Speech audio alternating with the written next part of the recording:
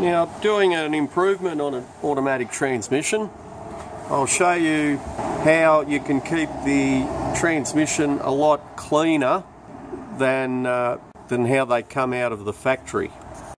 And we've got the pan. You can see the mark where the filter inlet is. It's actually accumulated a lot of fine metal there. And you've got the magnet there. So all the solenoids would be thoroughly contaminated. Now we've got the standard magnet that comes in there. You'll see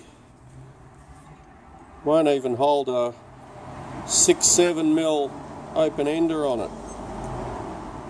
Well if, if you put it on sideways, but on the end it won't.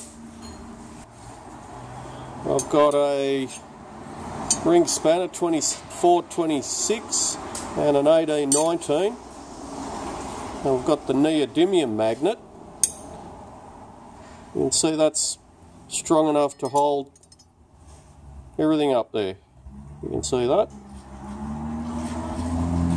So it's got a much better magnetic field to collect all that rubbish that's floating around in there.